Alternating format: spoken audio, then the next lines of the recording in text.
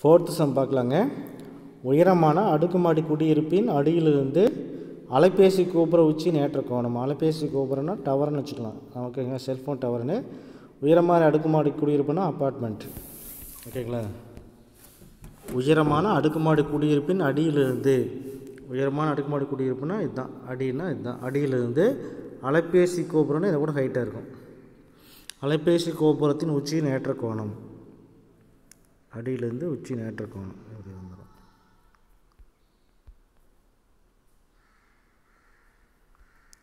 அறுபது டிகிரி.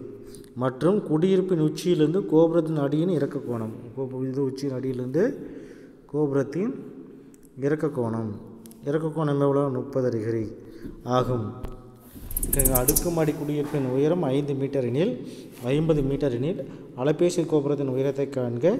கதிர்வீச்சு கட்டுப்பாட்டு விதியின்படி அலைபேசி கோபுரத்தின் குறைந்தபட்ச உயரம் நூற்றி இருபது மீட்டராக இருக்க வேண்டும்.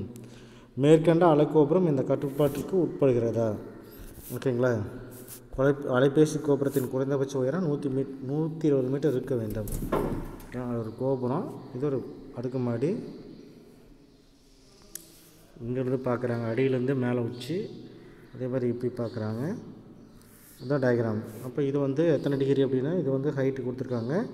இது வந்து நூற்றி இருபது குறைவாக இருக்கணும் அப்படின்னு கே இருக்கா அப்படின்னு கேட்குறாங்க ஓகேங்களா? சம் பார்க்கலாம்.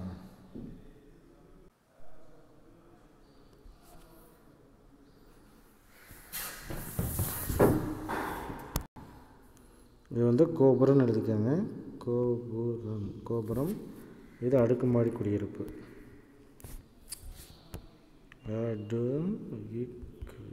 அடுக்குமாடி குடியிருப்பு. இது வந்து அடுக்குமாடி குடியிருப்பு. இது வந்து கோபுரம். இது ஹைட்டு ஐம்பது மீட்டரு இது ஐம்பது மீட்டர்னால் இது ஹச்சு அப்போ டோட்டல் லென்த்து வந்து இந்த டோட்டல் ஹைட்டு வந்து ஒன் டுவெண்ட்டிக்கு குறைவாக இருக்கா அப்படின்னு கேட்குறாங்க இப்போ நம்ம சென்டென்ஸ் எழுதிக்கலாம். இதெல்லாம் எழுதிக்கோங்க ரைட் பண்ணிக்கோங்க. அடுக்குமாடி குடியிருப்பின் உயரம் சிடி என்க. ஓகேங்களா நெக்ஸ்ட்டு அலைபேசி கோபுரத்தின் உயரம் ஏபி என்க. ஒய் என்பது அலைபேசி கோபுரத்துக்கும் அடுக்குமாடி குடியிருப்புக்கும் இடையுள்ள தொலைவு. ஓகேங்களா இது வந்து ஃபஸ்ட்டு சொல்கிறோம் அது ரெண்டாவது சொல்கிறோம் இது டிஸ்டன்ஸ் செல்ஃபோன் டவருக்கும் அப்பார்ட்மெண்ட்டுக்குள்ள டிஸ்டன்ஸ் தான் ஒய்ஏ இது ஹச்னு வச்சுக்கிறோம். இது ஃபிஃப்டி நம்ம ஓகேங்களா? நம்ம Y plus H plus fifty கண்டுபிடிக்கணும். எவரன்ட்டு அதுக்கப்புறம் ஃபஸ்ட்டு ரைட் ஆங்கிள் ஏசிபி செங்கோண முக்கோணம். சிபிடி எடுத்துக்காங்க செங்கோண முக்கோணம். டயக்ராம் போட்டோம். டி. இந்த செங்கார முக்கோணம் எடுத்துக்கிறோம் ஏன்னா முப்பது டிகிரிக்கு இந்த செங்கார முக்கோணம். அப்போ எதிர்பக்கம்னா ஸ்டாண்டிட்டா ஈக்குவல் டு எதிர்பக்கம்னா ஐம்பது டோட பை ஒய் இதுதான் எதிர்பக்கம். ஓகேங்களா அடுத்தது செங்கோண முக்கோணம் இதை எடுத்துக்கிறோம். இந்த செங்கோண முக்கோணத்தை எடுத்துக்கிட்டு போடணும். Tan thirty degree equal to CD dot by BD 1 by root 3 equal to 50 divided by Y அப்படின்னு வருது. கிராஸ் மல்டிஃபை பண்ணிங்கன்னா Y equal to fifty root three metre அப்படின்னு வருது. இது சமன்பாடு ஒன்றுன்னு வச்சுக்கலாம். அடுத்தது in right triangle ADB in right triangle ADB angle ADB equal to sixty degree angle ADB equal to sixty degree ஓகேங்களா அப்போ டேன் சிக்ஸ்டி டிகிரினா ஏபி டோட பை பிடி ஏபின்னா X plus fifty tan sixty டிகிரிக்கு எதிர்பக்கம் அப்படின்னா இதுதான் எதிர்பக்கம். அப்போ எதிர்பக்கம்னா ஹச் பை ஃபிஃப்டி அடுத்துள்ள பக்கம்னா ஒய் ஹச் எக்ஸ் ப்ளஸ் இங்கே வந்து நம்ம ஹச்னு போட்டுக்கோங்க. இங்கேயும் ஹச்னு போட்டுக்கோங்க. என்னென்னு போச்சுங்க H plus fifty by Y இங்கேயும் ஹச் ப்ளஸ் ஃபிஃப்டி ஹச்னு போட்டுக்கோங்க. H plus fifty divide by Y divide by ஒய்ன்னு இருக்குது அப்போ நெக்ஸ்ட்டு இந்த ஒய் இந்த சைடு கொண்டு போங்க. இந்த ஒய் இந்த சைடு வந்துச்சுன்னா இந்த த்ரீ இந்த சைடு வந்துடும் இப்போ ஹச்சுன்னு போட்டுக்கோங்க. ஹச்சுன்னு மாற்றிக்கோங்க ஓகேங்களா இது ரெண்டு. ரெண்டு பக்கம் பாருங்கள் இங்கேயும் ஒய் இருக்குது இங்கே ரைட் ஹேண்ட் சைடு ஈக்குவல் பண்ணால் லெஃப்ட் ஹேண்ட் சைடு ஈக்குவல் அப்போ லெஃப்ட் ஹேண்ட் சைடு ஈக்குவல் பண்ணிங்கன்னா இங்கே பாருங்கள் என்ன அப்புறம் one one two implies fifty root three equal to H plus fifty dot by root த்ரீன்னு வருது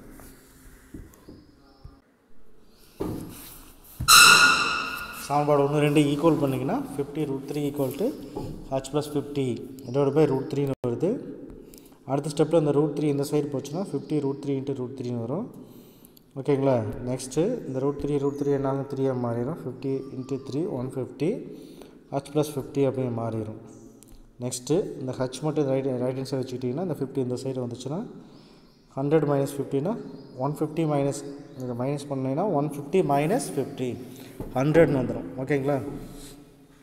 அப்போ H equal to hundred metre height of the cellphone tower equal to பாருங்கள் H plus fifty H plus fifty அப்படின்னா hundred plus fifty one fifty metre அப்போ இது வந்து நூற்றி இருபது கூட அதிகமாக இருக்குது தேர்ஃபோர் நம்ம ஃபைனலாக இது வந்து நூற்றி இருபது கூட அதிகமாக இருக்கா? ஆட் பண்ணால் நூற்றி ஐம்பது வருது. தேர்ஃபோர் அலைபேசி கோபுரத்தின் உயரம் நூற்றி ஐம்பது மீட்டர் இருப்பதால் கதிர்வீச்சு கட்டுப்பாட்டுக்கு உட்படாது. ஓகேவா the tower does not meet the relations norms அந்த கதிர்வீச்சு கட்டுப்பாட்டுக்கு உட்படாது. ஆனால் வந்து அந்த டவர் வந்து ஒன் ஃபிஃப்டி தான் ஒன் டுவெண்ட்டிக்குள்ளே தான் இருக்கணும். ஆனால் அந்த டவர் வந்து எவ்வளோ வச்சுருக்காங்க? ஒன் ஃபிஃப்டி வச்சுருக்காங்க. அதனால் வந்து கதிர்வீச்சு கட்டுப்பாட்டுக்கு உட்படாது அப்படின்ட்டு நம்ம சொல்லிடலாம். ஓகேங்களா டயக்ராம் போட்டுக்கோங்க. டயக்ராம் போட்டு இது வந்து ஒரு அப்பார்ட்மெண்ட்டு இது வந்து ஒரு செல்ஃபோன் டவரு ஏபிசி லெட்டர்ஸ் வந்து நம்ம நீங்கள் எது வேணால் கொடுத்துக்கலாம். என்ன கொடுக்குறோமோ அதுதான் இங்கே எழுதணும். அடுக்குமாடு குடியிருப்பின் உயரம்னு எழுதிக்காங்க அலைபேசி உயரம் அந்த டிஸ்டன்ஸு ஃபஸ்ட்டு ஒரு செங்கோண முக்கோணத்தை எடுத்துக்காங்க இது. அது சமன்பாடு ஒன்று வச்சுக்கோங்க. அடுத்து ரெண்டாவது சம செங்கோண முக்கோணம் எடுத்துக்காங்க டேன் சிக்ஸ்டி டிகிரி அது ரெண்டுன்னு வச்சுக்கோங்க. ரெண்டு இதுலேயும் right hand side left hand side ரூ ஒய்ன்னு வருது. அதனால் ரைட் ஹேண்ட் சைடு ஈக்குவல் பண்ணிங்கன்னா நமக்கு ஹச்சோட வேல்யூ கிடச்சிரும்.